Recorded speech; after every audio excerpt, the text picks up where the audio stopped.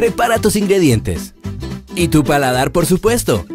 Esto es Cocina en 321 con la chef vegana Leslie de Reyes. Aquí en Unión Radio. Bienvenidos a su segmento Cocina en 321, un programa de Unión Radio de sus amigos La Luna Vegetariana. Y la receta que tengo preparada para el día de hoy es un delicioso queso cheddar. Bueno, sustituto de cheddar, pero que en realidad vas a amar. Y lo vamos a hacer con ingredientes súper sencillos que puedes encontrar. Tenemos acá dos papas grandes cocidas y media zanahoria. Vamos a agregar esto junto con el caldo donde las cocinamos. Vamos a agregar también dos cucharadas de vinagre de manzana que le dará ese sabor característico a fermento y también probióticos, que es una función que los lácteos eh, pues contribuyen en algunas oportunidades. Vamos a agregar acá una cucharada de ajo en polvo, una cucharada de cebolla en polvo y asegúrense que no tenga sal añadida, ¿verdad? Vamos a agregar también acá un cuarto de taza de leche, bueno, de bebida vegetal de soya. Asegúrense, le den los ingredientes que no tenga azúcar, y que no tenga eh, sabor a vainilla también, que únicamente sea natural.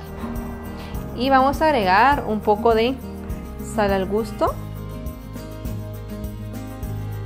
Y para que nuestro cheddar esté súper cremoso, vamos a agregar también un cuarto de taza de aceite de canola. Les recomiendo el de canola porque el de canola normalmente el sabor es neutro, adicional a que se utilizan de coco, de aguacate o de algún otro a veces el sabor tiende a, sobresalir. Y ahora sí vamos a licuar.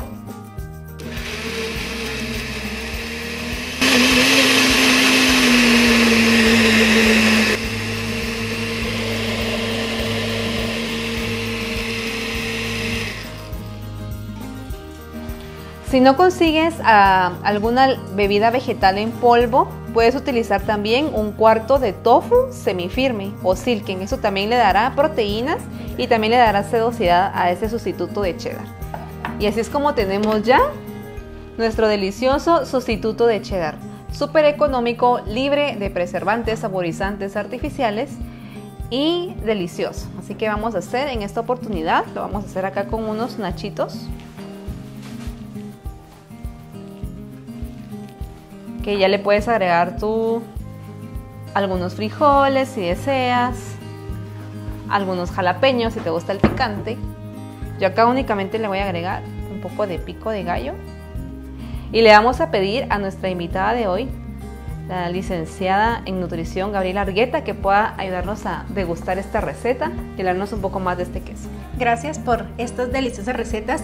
Regularmente los pacientes siempre cuando están tratando de sustituir los lácteos, una de las cosas que más les cuesta sustituir eh, son como los quesos amarillos, eh, poder comer con nachos, poder tener como para sanguchitos, así que esta es una excelente opción. Aparte que, como ustedes vieron, se les agregó eh, a esta receta se le agregó en, polvo la leche, que es un sustituto de leche, ¿verdad? De soya. Así que allí tenemos las proteínas.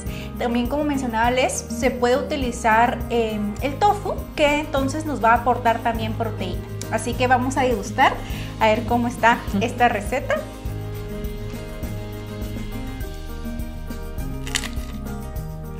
Mm.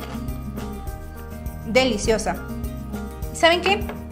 Pueden usarla también para hacer papas, por ejemplo con queso.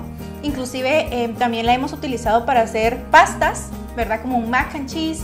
Y también pues para hacer diferentes eh, preparaciones como en sándwiches o crunchy wraps o por ejemplo tacos. Esta sería su salsa especial de cheddar. Así que esperamos que se animen a hacer esta receta en casa. Una receta más de sus amigos de la luna vegetariana para Unión Radio. ¿Te gustó esta receta? Te invitamos a que visites los perfiles de Unión Radio Guatemala de Facebook, Instagram y TikTok, donde podrás encontrar esta y muchas recetas más.